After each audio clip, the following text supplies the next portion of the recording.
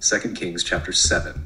Then Elisha said, Hear ye the word of the Lord, thus saith the Lord Tomorrow about this time shall a measure of fine flour be sold for a shekel, and two measures of barley for a shekel, in the gate of Samaria.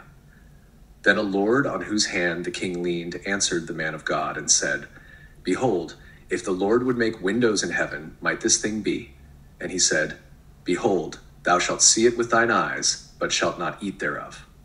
And there were four leprous men at the entering in of the gate, and they said one to another, Why sit we here until we die? If we say, we, we will enter into the city, then the famine is in the city, and we shall die there. And if we sit still here, we die also. Now therefore come, and let us fall into the host of the Syrians. If they save us alive, we shall live, and if they kill us, we shall but die. And they rose up in the twilight to go unto the camp of the Syrians. And when they were come to the uttermost part of the camp of Syria, behold, there was no man there.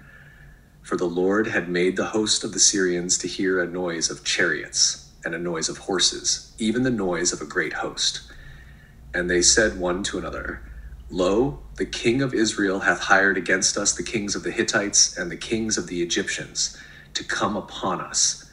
Wherefore they arose and fled in the twilight and left their tents and their horses and their asses, even the camp as it was, and fled for their life.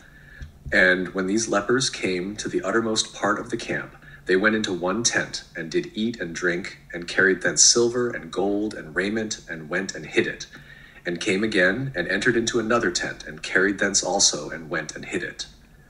Then they said one to another, We do not well. This day is a day of good tidings, and we hold our peace. If we tarry till the morning light, some mischief will come upon us. Now therefore come that we may go and tell the king's household. So they came and called unto the porter of the city, and they told them, saying, We came to the camp of the Syrians, and behold, there was no man there, neither voice of man, but horses tied, and asses tied, and the tents as they were.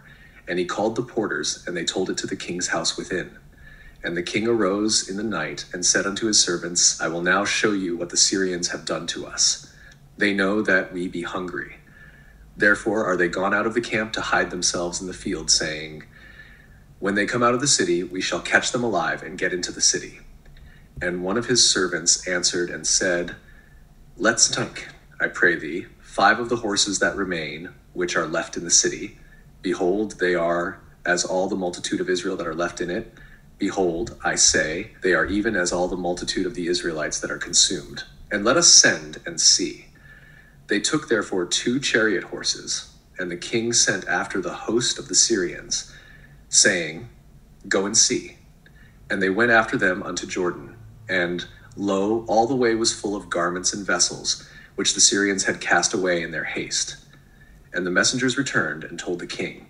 And the people went out and spoiled the tents of the Syrians. So a measure of fine flour was sold for a shekel, and two measures of barley for a shekel, according to the word of the Lord. And the king appointed the Lord on whose hand he leaned to have the charge of the gate.